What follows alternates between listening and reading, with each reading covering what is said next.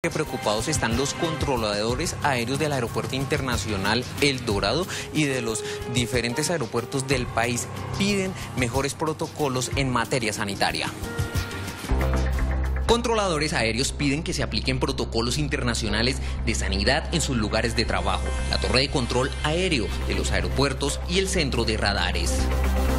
Ellos mismos son conocedores de esta documentación, se les ha socializado otra documentación que aplican en países suramericanos para controladores de tránsito aéreo, pero realmente hasta el momento no tenemos absolutamente ningún plan ya operando para prevenir el COVID-19 la OASI, Organización de Aviación Civil Internacional, emitió unos lineamientos en materia de sanidad para prevenir el coronavirus. Estos ya fueron entregados a las directivas de la aeronáutica. Pedimos que se apliquen las directrices de la Organización Mundial de la Salud y también las directrices emanadas de la Organización de Aviación Civil Internacional OASI. Algunos de los puntos más importantes de los lineamientos. Implementar el uso de equipos de comunicaciones individuales, headset o micrófonos, así como procedimientos recurrentes de limpieza y desinfección de estos equipos y la consola. Durante un turno de 24 horas. 18 personas pueden estar manipulando estos elementos.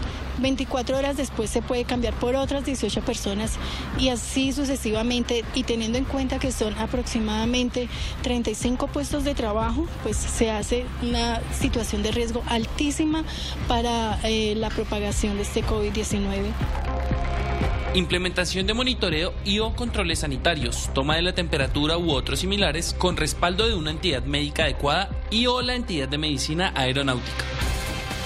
Pedimos unos elementos como los tapabocas, unas toallas de asepsia y la limpieza por el personal de aseo que fue aceptada.